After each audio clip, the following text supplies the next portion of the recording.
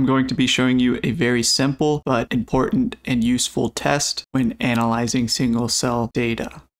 So I've just imported a few packages here and done a very simple pre-processing. And the important thing here is that I've normalized every cell to the same total counts. So I have an AData object with 8,000 cells and around 22,000 genes. So in my data, I actually have a gene that I called Zika, which corresponds to reads that map to the Zika genome. And in this toy example, I'm going to be using the gene name Zika, but of course you can use any gene that you're interested in. So the first thing we want to do is get the position that our gene falls within the AData object. And for that, we're going to use numpy where, and then we can just pass AData var names, and then where does it equal our gene of interest, in this case Zika, and then we just need to pass 0, 0. So we get the position that that gene falls.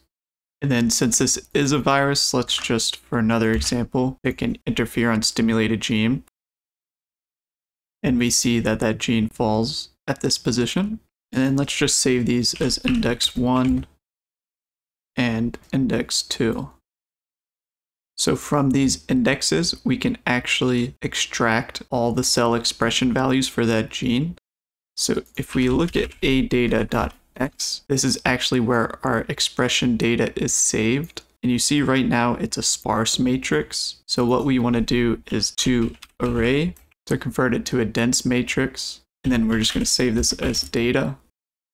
And then if we look at the shape, it's just cells by genes. And then if we want all the cell values for a given gene, we can extract that from data. And let's just pass I1 for Zika and we get all the values for the 8000 cells. And then from our imported stats package, we can do a Pearson's correlation and we can pass this array and then we can compare it to the IFITM1 values. And this is the R value and then the P value.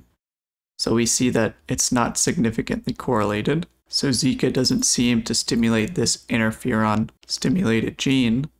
So we could go through and pick individual genes, or we can just test every single pairwise combination of Zika and other genes to find if there are any genes correlated to Zika. So we're just going to loop over all the genes in A data. And then I'm also going to make a little out list. So I1 is going to stay as Zika, but we're going to have to reset I2 Instead of picking the gene, we're going to use the gene in the loop. And then we're going to get the Pearson's correlation. Let me just call that res. And then we're going to append the gene name and then the R value and P value from res to out. So this should only take maybe 10, 15 seconds. So once that's done, let's convert out into a pandas data frame.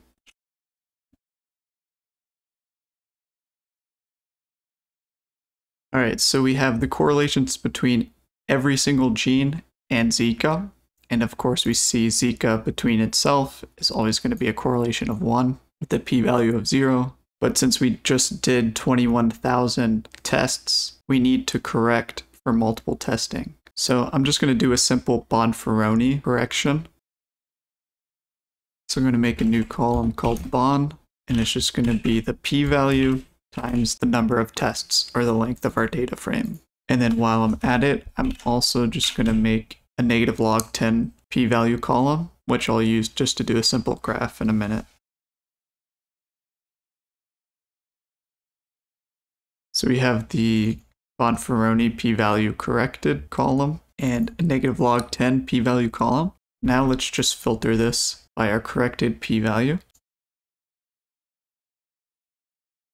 So out of those 22,000 comparisons, we only had around 700 significant comparisons. I'm just going to sort this and then reorder the index column. Okay, so just right off the bat, this is actually pretty exciting because we see the first three most correlated genes are antiviral genes, and they have a very low p-value So from experience, the R value in single cell co-expression is never that high. Usually anything above like 0.1 tends to be very significant if you have a decent number of cells. I'm not going to go into anything too crazy, but let me just do a simple graph of the top 15 results.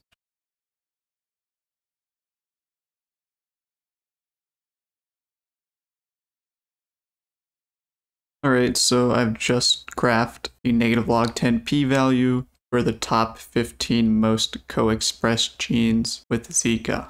But again, you can do this with any gene, it doesn't just have to be infected cells. I just thought Zika would be an interesting example for this video. In a future video, I'll show how to do co-expression networks,